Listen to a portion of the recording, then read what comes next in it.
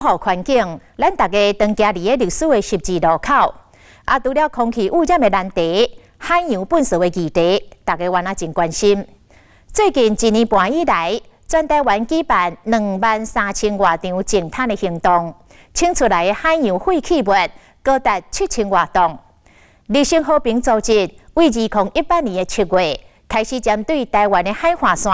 展开一季一届的海洋废弃物的快筛调查，希望利用更较紧的科学的方法来追踪海洋垃圾的数量甲分布。结果发现，全台湾有将近半数的海洋垃圾集中伫新北市、嘉义县甲台南市这三个县市，其中东北角瓦瑞丰的海岸是全台湾上垃圾的海岸线。到底是要安怎透过快胎了解海洋生态受到破坏的状况呢？继续是采访小组的队长报道。你小心哦！看石头搭真实的土，慢慢啊行。原来到宜兰石城这片海岸，强烈带了冷气团来，十一度的气温，过落雨。四人小组开始今日这个任务，就是海边废弃物的体检行动。每到一个车站，他们就会在起点跟终点插下旗子，然后在一百公尺的范围之内开始快筛。一日到海边啊，调查员赶紧分工做事，有人负责插旗啊，有一百公尺距离；有人提记录棒，沿桥的香槟开始记录海边的废弃物。在这个一百公尺的范围里面看海废有多少？那范围的话呢，就会从水线到那个山坡边或是植栽里面一公尺的距离来看。传奇的是绿色和平组织的专案主任甘宁，伊是即摆海会快太行动的主要负责人。快太小组来自一群训练有素的调查员，分北中南，伫全台湾一千两百十公里的海岸线固定徛徉。十公里一站，总共有一百二十一个测站，每一个测站撇开人为干扰区，选定一百公尺的范围。现场评估粪扫量、粪扫的类型、甲海边形态，确认粪扫车敢有法度到位，再用粪扫底的大小为单位，算出总共有偌济粪扫量。那刚刚呢，就是这样看完一圈，我们估计这这边这个海岸线上面的垃圾是三袋半。就是我们在每一个海岸上，我们看的那个垃圾，我们就会把体积转成一般黑色大垃圾袋的袋数。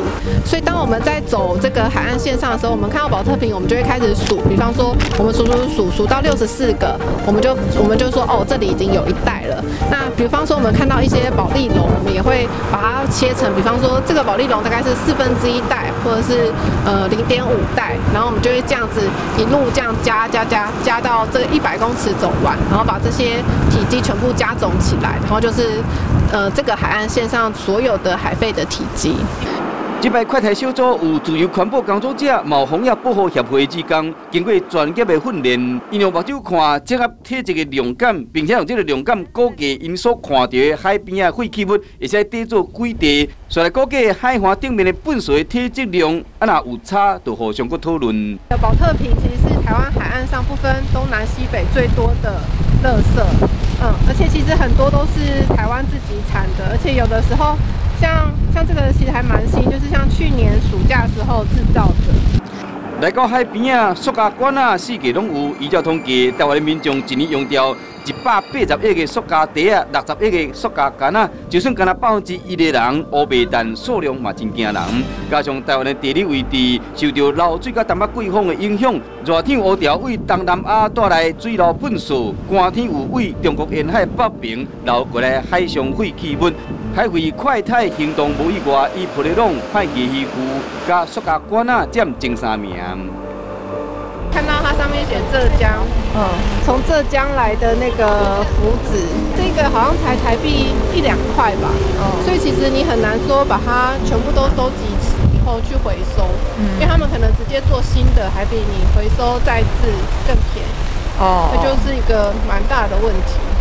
好，那这一站是 N 二十四，就是北部的第二十四站三雕角。Go go go go！所来到新北市的三雕角，这石头花甲宜兰的沙坡无共款。三雕角这边因为有海蚀平台，然后有一些比较大的石头，所以可以看到在那个大的石头的中间，其实就会有。就会有垃圾的累积。这这些蛮多可能都是从海浪带过来的。那保利龙就有可能是它是渔业的行为，比方说它是养殖，或是它是船上的供电所遗留下来。然后你看，像这里还有这个印尼的泡面，很有可能就是渔工渔工在船上的食物把它丢下来。玻璃龙经过海洋的拍，变甲油果脆，今后和海洋的生物食落腹肚底，才会随着食物链转移到高阶消费者，也就是人类的身上。除了平时看得到海洋废弃物，快台小组总是会去看到一寡意想未到的物件。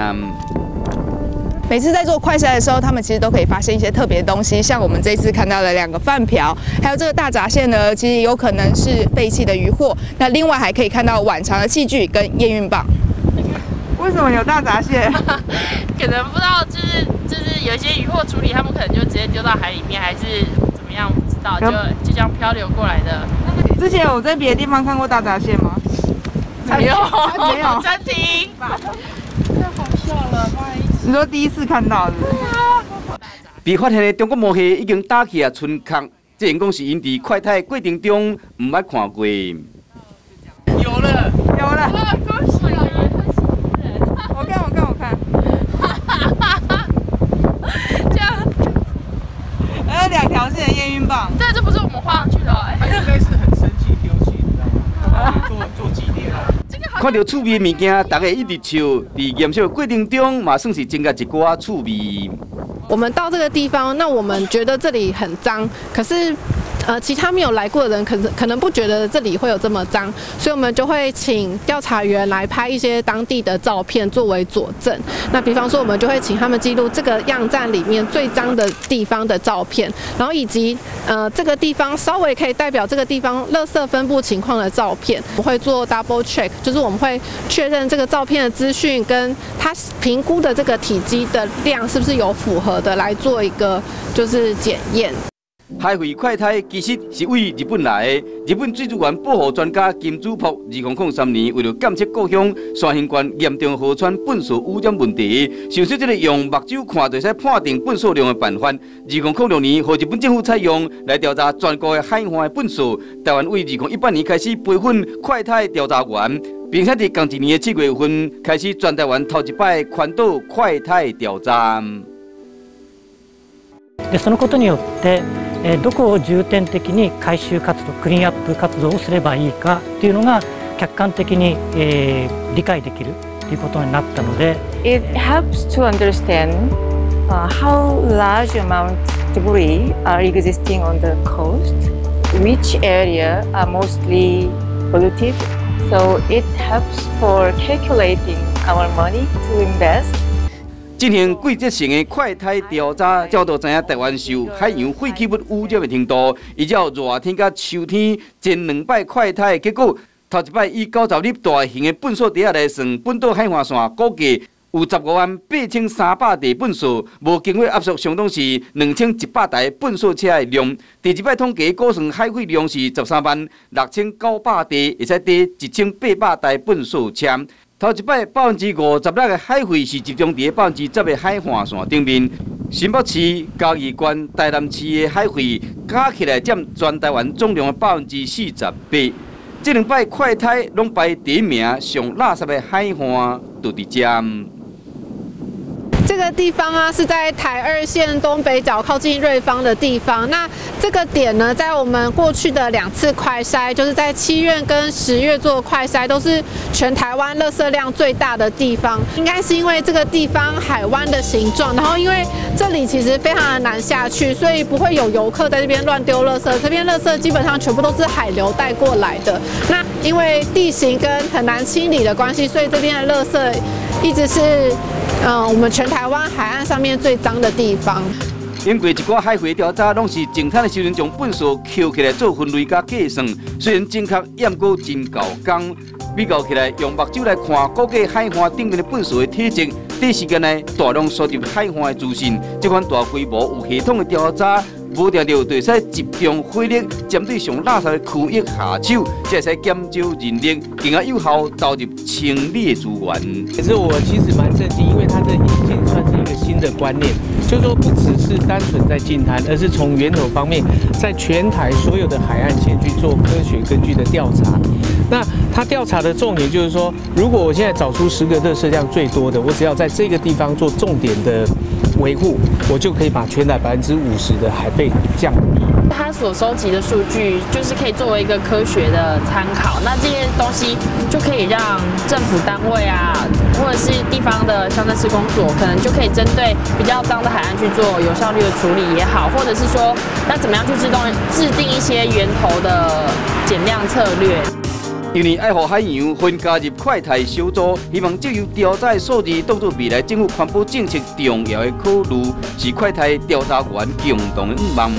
回收粪扫、净滩清理海废是阻止海洋粪扫进入大海最后的防线。因为粪水源头加强控管，才会恢复台湾海岸线的美丽样貌，达到无塑胶海洋的目标。